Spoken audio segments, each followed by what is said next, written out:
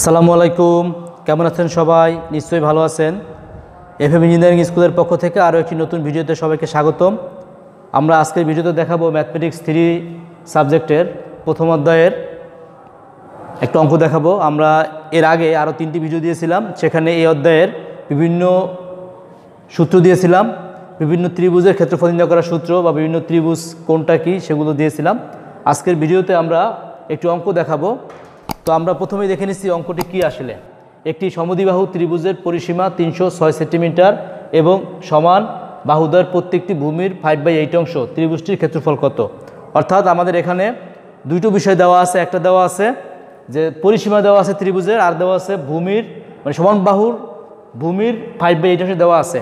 তো সেক্ষেত্রে আমরা প্রথমে একটি চিত্র এঁকে নিয়েছি যে এ বি সি একটি ত্রিভুজ, যার সমান সমান বাহু হচ্ছে এ আর ভূমি হচ্ছে বি তো আমি প্রথমেই ধরে নেব বা মনে করি মনে করি ভূমির দৈর্ঘ্য। আমরা এখানে ভূমির দৈর্ঘ্য বি ধরেছিলাম, তো সেক্ষেত্রে বি সমান সমান এইট এক্স সেন্টিমিটার তো সেক্ষেত্রে আমাদের যে সমান সমান বাহু, তার দৈর্ঘ্য হবে?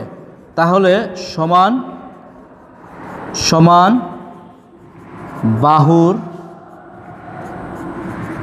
দৈর্ঘ্য, সেটা হবে এইট এক্সের ফাইভ বাই এইট অংশ। তো সেক্ষেত্রে এইট এক্স ইন্টু আমরা ফাইভ বাই এইট দিতে পারি। তো আবার এইট এইট কাটা দিলে কী হবে এখানে? ফাইভ এক্স সেন্টিমিটার হয়ে যাবে।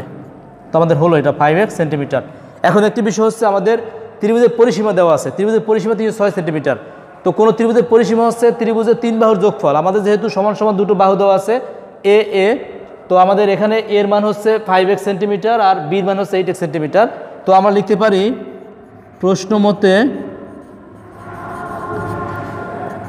five x plus five x plus eight x is equal to তিনশো ছয় তো সেক্ষেত্রে আমরা যোগ করে দেই ফাইভ আর ফাইভ টেন আর এইট যোগ করলে eighteen x is equal to three hundred six তো আমরা এখন যদি এখানে আমরা এক্সের মান বের করি, তো সেক্ষেত্রে থ্রি হান্ড্রেড সিক্স বাঘ এইটিন তো এটা যদি আমরা করি, তাহলে আমাদের এরকম একটা মান আসবে সেভেন্টিন অর্থাৎ সতেরো। এক্সের মান হচ্ছে সতেরো। তো এখন আমাদের এখান থেকে যেহেতু এক্সের মান আমরা পেয়ে গেলাম, সেক্ষেত্রে আমাদের ভূমির মান এবং সমান বাহুর দৈর্ঘ্যের মানটা কিন্তু পেয়ে যাব।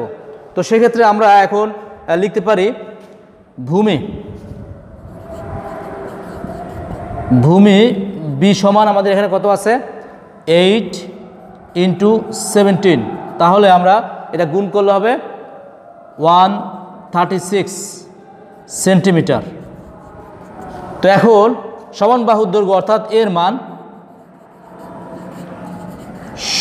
সমান বাহু এ সমান হচ্ছে ফাইভ এক্স অর্থাৎ ফাইভ ইন্টু সেভেন্টিন করলে এইটটি ফাইভ সেন্টিমিটার তো এখন বিষয় হচ্ছে আমাদের যে প্রশ্ন যদি চাওয়া হয়েছে যে ত্রিভুজের ক্ষেত্রফল কত? তো ক্ষেত্রফলের সূত্র ছিল, আমরা এর আগে দেখেছিলাম, য- যদি সমদ্বিবাহু ত্রিভুজের ক্ষেত্রফল, আমরা কিন্তু সমদ্বিবাহু ত্রিভুজের ভূমির দৈর্ঘ্য পেয়ে গেলাম। সেটি হলো একশো ছত্রিশ সেন্টিমিটার এবং যে সমান সমান বাহু, তার দৈর্ঘ্য পেলাম এইটটি ফাইভ সেন্টিমিটার, অর্থাৎ পঁচাশি সেন্টিমিটার। তো সেক্ষেত্রে আমাদের এখন যদি আমরা এই দুটি বাহুর দৈর্ঘ্য পেয়ে যাই, তো সেক্ষেত্রে কিন্তু এই মান বের করা সহজ। একটি সূত্র ছিল এরকম যে সূত্রটা ছিল ক্ষেত্রফল নির্ণয়ের সূত্র ছিল বি ভাগ four root over four a square minus b square তো আমরা যদি এখন এখানে মানটি বসিয়ে দেই, তো সেক্ষেত্রে আমাদের বি বি অর্থাৎ বির মান হচ্ছে একশো ছত্রিশ। তো এখানে আমরা বসে একশো ছত্রিশ বাঘ ফোর রুট ওভার ফোর এবার আমরা এইট্টি ফাইভ স্কোয়ার অর্থাৎ পঁচাশি স্কোয়ার মাইনাস একশো ছত্রিশ স্কোয়ার। তো এটাকে আমরা যদি ক্যালকুলেশন করি, তো ক্যালকুলেশন করলে একটি মান দাঁড়াবে just three four six eight বর্গ সেন্টিমিটার। এটি ক্যালকুলেশন করা যাবে। এটা ক্যালকুলেশন করা একটু সময় সাপেক্ষ এই জন্য আমি জাস্ট একবারে দেখিয়ে দিলাম। এখানে ক্যালকুলেশন করার ক্ষেত্রে ফোর দিয়ে একশো ছত্রিশকে ভাগ করা যায়। ভাগ করার পরে এখানে পঁচাশিকে স্কোয়ার করলে যে মানটা আসবে তা দিয়ে ফোরকে গুণ করতে হবে, এবং একশো ছত্রিশ স্কোয়ার করলে যে মানটা আসবে, এই মানটা থেকে ওই মানটা বিয়োগ করতে হবে। বিয়োগ করার পরে এটাকে বর্গমূল করতে হবে। বর্গমূল করার পরে যে মানটা আসবে, ওই মানটা আর এখানকার যে মানটা পাওয়া যায়, দুইটা গুণ করলে কিন্তু আমাদের এই তিন হাজার চারশো আটষট্টি বর্গ সেন্টিমিটার পাওয়া যাবে। জাস্ট এইভাবে করা যাবে। আমরা দেখলাম অঙ্কটা। অঙ্ক কিন্তু খুব বেশি কঠিন নয়, একটি সহজ অঙ্ক। যার সূত্রটি জানা থাকলে এবং কৌশল জানা থাকলে অঙ্ক করা খুব সহজ।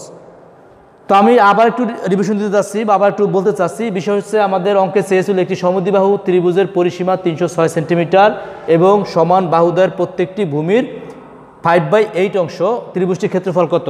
তো এখানে আমাদের দুইটা বিষয় দেওয়া আছে, একটা ত্রিভুজ দেওয়া আছে, একটা হচ্ছে ভূমি এবং সমান সমান বাহুর মধ্যে সম্পর্ক দেওয়া আছে। তো সেক্ষেত্রে আমরা প্রথমে কি করলাম?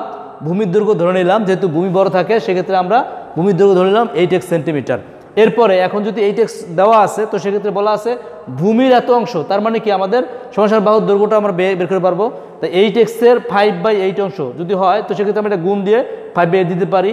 এইট আর এইট কাটাকাটি দিলে এখানে থাকে এক্স ইন্টু ফাইভ গুণ করলে ফাইভ এক্স সেন্টিমিটার তো আমরা এখন এখানে যে দুটো মান পেয়ে গেলাম এইট এক্স আর ফাইভ এক্স তো আমাদের এবার এখানে দেওয়া আছে, পরিসীমা দেওয়া আছে, পরিসীমা তিনশো ছয় সেন্টিমিটার তো পরিসীমার ক্ষেত্রে হলো গা ত্রিভুজের তিন বাহুর যোগফল হচ্ছে পরিসীমা। তো তিনটা বাহু আমরা কিন্তু পেয়ে গেলাম, সমান সমান বাহু। এখানকার এর মান ফাইভ এক্স বি এর মান ফাইভ এক্স এবং বি এর মান হচ্ছে এইট এক্স তো আমরা এই তিনটা সমান সমান তিনশো ছয় লিখলাম। তো তিনটা যোগ করে দিলে কত হয় আমাদের? পাঁচ আর পাঁচ, দশ আর আট, আঠারো। তার মানে আঠারো এক্স ইজ ইকুয়াল টু তিনশো ছয়। এরপরে আমরা যদি এক্সের মান করি, তাহলে তিনশো ছয়কে আঠারোতে ভাগ করতে হবে। যদি আমরা তিনশো ছয়কে আঠারোতে ভাগ করি, তার মান হচ্ছে হয় সতেরো। অর্থাৎ আমরা এক্সের মান সতেরো পেয়ে গেলাম।